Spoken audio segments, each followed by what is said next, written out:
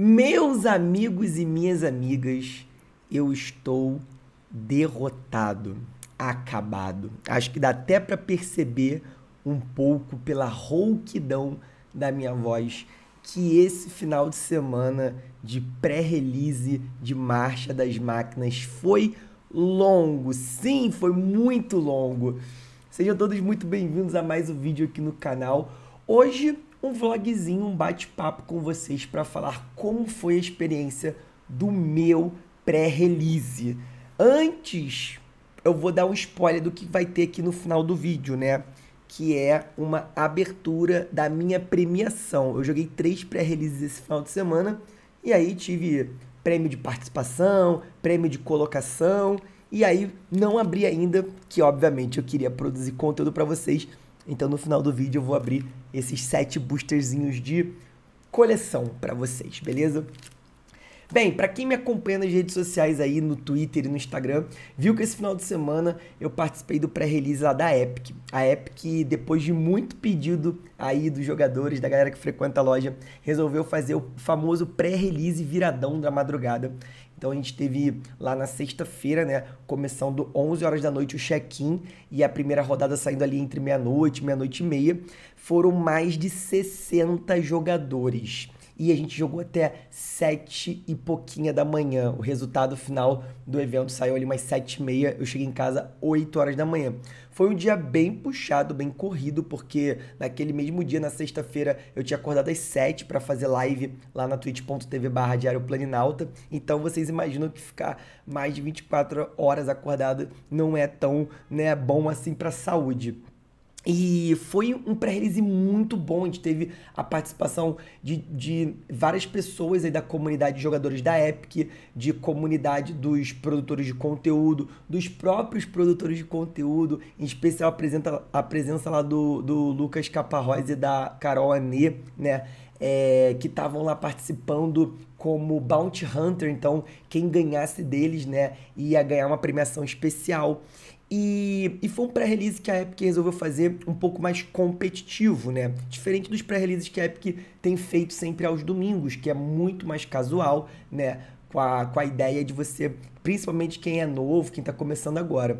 É, eu, eu, eu sei, assim, que algumas pessoas, pelo menos uma pessoa, eu não sei se você tá assistindo esse vídeo, mas é, uma, um, eu, eu ouvi um relato de uma pessoa que que ficou um pouco chateada, porque essa pessoa não entendeu muito bem é, a proposta desse pré-release da meia-noite. E aí, eu queria abordar esse assunto, porque eu sei que tem muita gente que está me acompanhando, que ultimamente tem acompanhado o canal, que está começando a jogar o Magic agora, ou está voltando a jogar o Magic The Gathering agora, e não entende muito bem ainda alguns eventos ou algumas coisas que acontecem né, na, em, em relação a torneios, campeonatos, etc. O pré-release, gente, ele é, sim, na minha opinião, o melhor evento para você é, jogar seu primeiro evento em loja. Se você já joga o Magic Arena, se você já joga com amigos em casa, já tem uma noção de Magic básica, pelo menos, o pré-release ele é ótimo para você ter a sua primeira experiência, conhecer pessoas novas, conhecer a comunidade da loja. É muito legal. Mas existem várias formas de realizar um pré-release, tá? E eu gosto muito quando as lojas é, assim como a Epic fez, elas atendem a públicos diferentes. Porque uh, o, o, jogador casual, é, ele é muito diferente do jogador competitivo. E você unir o jogador casual e o jogador competitivo no mesmo evento, você acaba trazendo uma experiência muito ruim, principalmente para quem está começando agora que acaba, tipo, não, não, não tendo aquela, aquele jogo um pouco mais casual, aquele jogo um pouco mais equilibrado. E aí, quando você faz dois eventos, por mais que, por exemplo, é óbvio que teve muita gente que jogou de sábado, o de sexta, né? É sábado de madrugada, enfim. E o de domingo também. Eu fui uma dessas pessoas. Não que eu seja o melhor jogador do mundo, mas, por exemplo, o Lucas Caparrós jogou os dois e ganhou os dois, óbvio. Mas a mentalidade das pessoas na sexta-feira era muito mais de ganhar a premiação, de ficar bem colocado, tentar montar o melhor deck e jogar da melhor maneira possível para tentar ganhar uma, uma premiação muito boa. O primeiro colocado ganhou uma, ganhou uma box de boosters, uma box de boosters. Teve vários é, o top 16 premiava, então teve vários apoiadores do canal aí que premiaram, né, nessa brincadeira, se eu não me engano, acho que o Moisés, o, o Cristiano, é, pelo menos que eu tô lembrando agora, premiaram, talvez o, o Cranes também, não, não lembro bem. É, e ficaram muito bem. Foram seis rodadas, porque obviamente o número de jogadores é, é, influencia na quantidade de rodadas. E, e por isso que varou a madrugada dentro. É, eu acabei abrindo uma pool não muito boa, né? Foi uma pool é, mediana, bem medíocre, né? Se, é, com algumas bombas, mas com as cores não tão fortes naquelas bombas, e aí algumas emoções legais, mas também em outras cores. E aí eu tive que acabar é, tentando é, focar um pouco mais na questão da curva e com mais foco em remoção. Isso, isso foi legal. Assim, eu ganhei as duas primeiras rodadas a primeira rodada contra um deck que estava bem equilibrado também contra o, contra o meu. A segunda rodada, o deck do meu oponente estava muito melhor do que o meu e eu não sei como eu consegui ganhar. E aí a terceira rodada eu joguei contra o, um, dos, um dos jogadores que acho que ficou em segundo ou terceiro lugar e perdi, né? Mas assim, perdi de 2 a 1 um, foi bem disputado e acabei tomando um Voring Klex duas vezes, foi os dois games que eu perdi.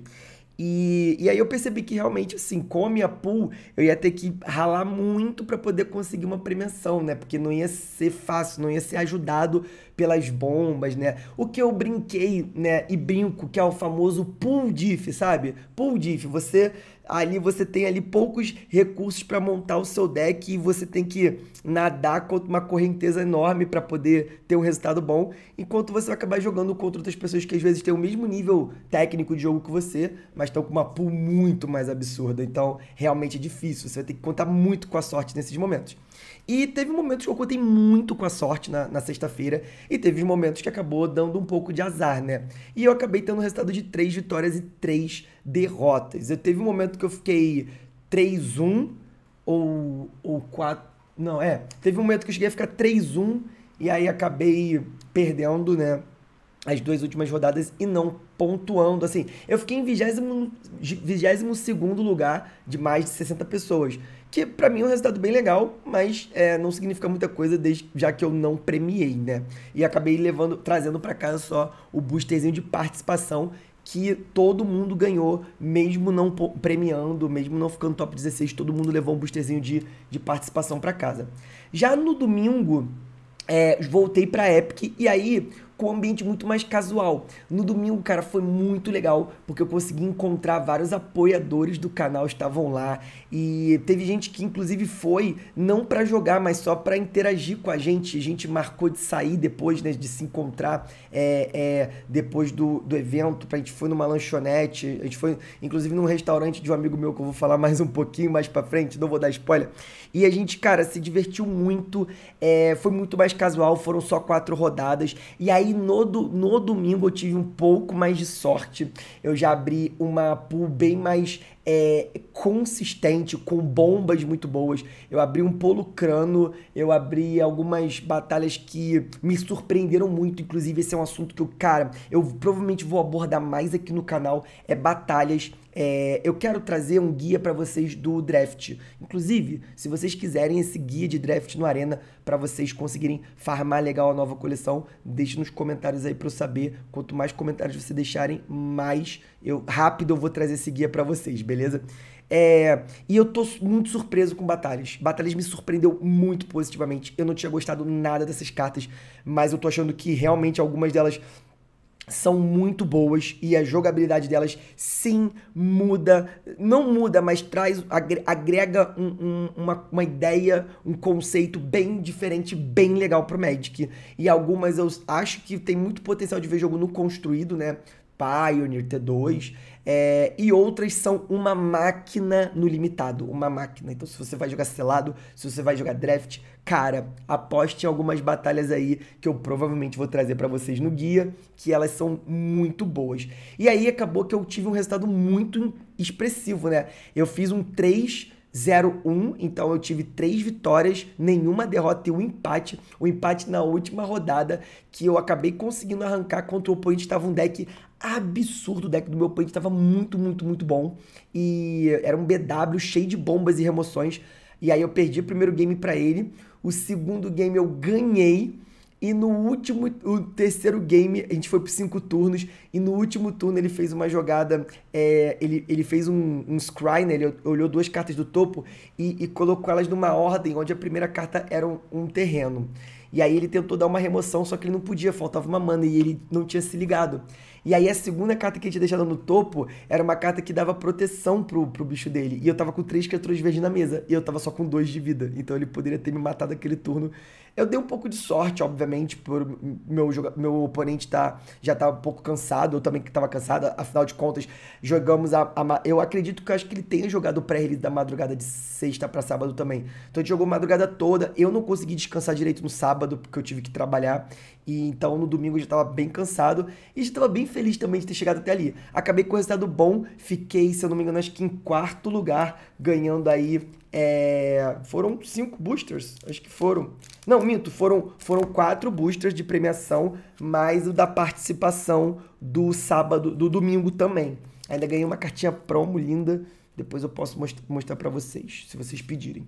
É, e aí chegou ontem, segunda-feira, não estava planejado isso, mas tenho dois amigos, né, que tem, que tem, que tem lojas aqui, são, são lojas é, novas, relativamente novas, e sobraram kits, né, de pré-release do, do, do, pré que eles organizaram. E um grande amigo nosso, o Lierson, ele, ele abriu um novo restaurante aqui em São Paulo, né, o Xepa, que a gente foi, inclusive, jantar lá depois do pré-release de domingo, absurdo, restaurante é absurdo, muito bom. E aí ele convidou a gente para ir segunda-feira é, à noite lá para jogar um pré-release entre amigos e comer umas carnes que ele colocou lá para assar pra gente. Então, gente, foi uma experiência surreal. Tava lá muita gente incrível, o Elba, a Carol Moraes estava lá, a Duda, a Turba, Pedrinho, Lelê, é, Charlão, Júlia, Luminovinha, uh, o, o Anzai, né, do Café Comedic, que foi um dos que levou os kits. É, Polar tava lá também. Então, uma galera, assim, algum, alguns amigos de longa data, outros mais recentes, uma galera que eu conheci lá na hora. Cara, foi divertidíssimo. Tive. Ontem eu tive a oportunidade de me, me vingar, né, do, do pré-release de sexta, que eu tomei o, o Tomei o Vorinclex duas vezes. Ontem eu abri um Vorinclex promo e aí não tinha como não jogar com ele. Além do Vorinclex promo, eu ainda abri a batalha de Icória, se eu não me engano, a que busca um bicho e bota na mesa. Então, gente, foi insano, insano.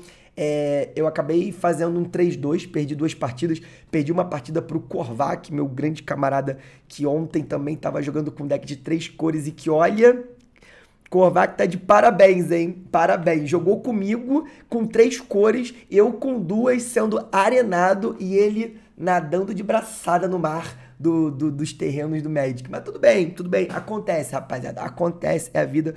É, quando a gente tá jogando em, entre amigos assim é bom, né? Porque é, mesmo quando a gente perde, velho, é, é, é tanta brincadeira e tal, tanta zoeira que, que, mano, a gente se diverte de qualquer forma, né? Então foi muito, muito legal. Então, como eu falei, acabei ficando 3-2, fiquei em oitavo lugar. Tinha mais de 30 pessoas. Cara, era uma coisa que era pra ter sido feita pra.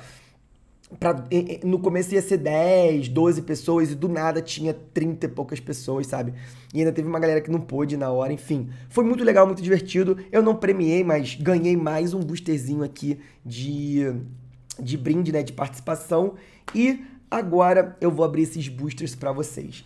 É, eu tô muito feliz, muito feliz. Esse meu final de semana foi incrível. Só tenho a agradecer a todos os apoiadores do canal, todos os amigos produtores de conteúdo, amigos e amigas, e principalmente a Epic Game, né? A loja parceira do canal, a loja que tem feito muita coisa aqui para que eu possa trazer conteúdo para vocês para que eu continue me mantendo motivado com Magic the Gathering, mesmo com tantas coisas às vezes ruins acontecendo, é, e continue acreditando muito na nossa comunidade também, né? E também agradecer muito ao Lierson pelo convite, agradecer muito a galera que colou lá no Xepa na segunda noite. Foi incrível a experiência e eu espero que isso possa acontecer mais vezes. Agora vamos para o unpacking desses sete boosterzinhos. Vamos lá, né, rapaziada? Já abri bastante coisinha legal esse final de semana. Vamos ver se eu consigo abrir algumas outras coisas legais aqui hoje. Olha, já abri um de Gero e Razorete, inclusive eu abri um, um de Gero e Razorete Eu, eu acho que foi na sexta, mas eu não consegui jogar com, com ele, não tava nas cores boas. Eu abri muita carta boa que eu queria muito jogar, mas infelizmente não consegui, guys. A gente tem que tomar algumas decisões, né? Quando a gente tá jogando aí nosso pré-release. Hey Ave, beleza? Sempre me enganando, achando que é o Hagavan, né? Inclusive, muita gente abrindo Hagavan aí no final de semana. Broodclad, muito bom, muito bom. Esse carinha é uma máquina no Commander. No meio do fogo, uma carta boa também. E um papa. Papa. Papa. Papa. Papa. Papa. Papa aqui. É, muita gente abrindo. Tio Vini, olha mais uma, cara. Eu tô colecionando isso aqui. Eu abri uma no, no unboxing, né? Dos produtos aí da, da Epic. Se você não viu, tem unboxing aqui no canal já. Um amigo meu abriu um no pré-release e me deu de presente. Milton, é, ele abriu no, no, no booster de premiação dele e me deu. Pô, aí essa planície foil, hein? Vi valor. E me deu de presente. E agora eu abro mais uma, Elashnorn. Que maravilha. Inclusive, Elashnorn, tomei uma Elashnorn no pré-release de, sábado, de domingo e consegui destruir ela.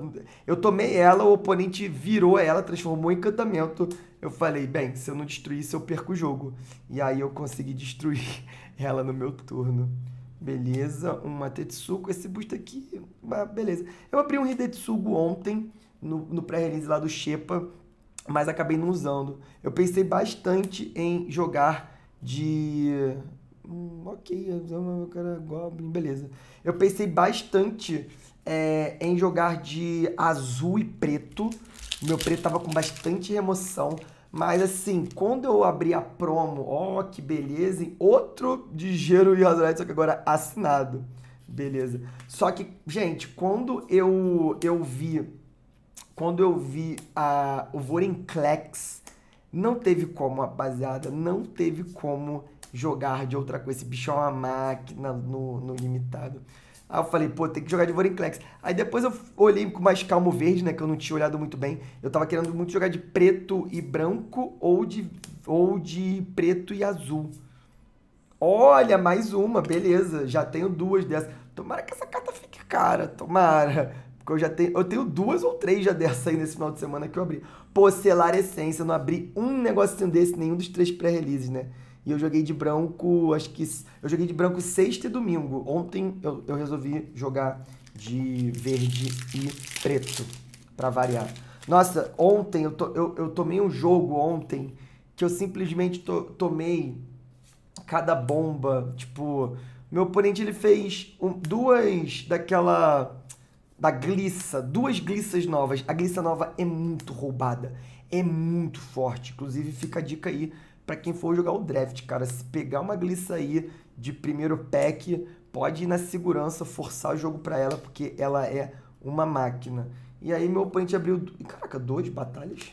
Meu oponente abriu duas glissas, tomei a primeira, resolvi a glissa, tomei a segunda e perdi o jogo. Foi triste. Um Cavaleiro Errante. Eu adoro essa carta. Eu quero muito testar ela no meu é, é, Mono White Humans do Pioneer. Muito. E inclusive em breve deve ter gameplay aqui no canal. Convidei o, o Rudá para de gravar mais gameplay aqui pro canal. Se vocês curtirem esse tipo de conteúdo, deixa nos comentários para eu poder saber e também, mesma coisa, motivar mais, né? Quero testar. Já tenho duas, então talvez eu deixe essas duas no deck para testar.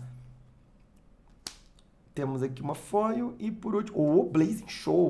Cara, eu joguei tanto com isso aqui na época lá de Kamigawa, tanto, tanto interessante. É um mais uma mais uma delist, né, que não vale absolutamente nada, não joga em absolutamente lugar nenhum. Esse barcão aqui do mal. Oh, mas o terreno foil, esses terrenos estão muito bonitos. Eu, eu falo isso em todo, em todo vídeo, né? De unboxing, que os terrenos estão muito, muito bonitos. Esse familiarzinho é bem bom. O sensor fricção também dá maldade. Cara, dá pra montar um deck de frixiano bem chato, bem chato. Invasão de Asgol. Reclusa. Opa. Ih, Dina. Pô, alguém tava querendo uma Dina. Ah, eu acho que era a Lelê mas ela queria foil. Eu abri várias não vou. Uh! Eu tomei dois osólitos ontem, mas eu consegui ganhar o jogo. Eu quebrei um e o outro entrou tarde demais. Cara, esse osólito é muito bom. É muito bom. Isso aqui é outra carta bombaça no limitado. Oh, mentira! Meu Deus, meu Deus, farmei muito. Meu Deus, meu Deus, eu farmei muito. Eu farmei muito. Crocha Titã da Morte, da Fome da Morte. Não é o novo, não é o que vem com Kunoros, é o antigo. Nesse frame absurdo. Meu Deus, cara. Pior que eu acho que eu tenho um ou dois desse cara na minha pool, que eu tava tentando montar o hack do Pioneer. Olha, esse daqui é bonitão, hein? Bonitão, hein? Cara. Sei lá se eu, se eu não vou nem botar esse cara em algum deck de Commander meu.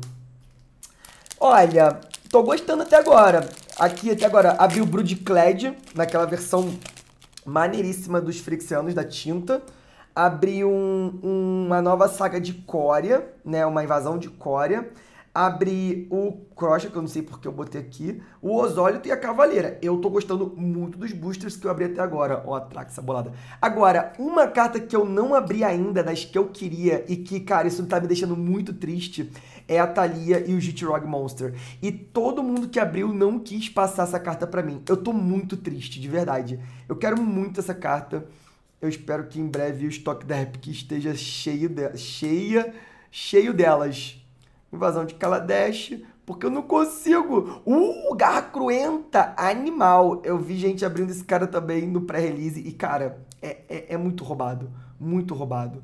Muito roubado. E mais um Eliod, beleza. Já tinha aberto um promo, né? Agora eu vou ter mais um. Quem sabe passar aí pra, pra alguém.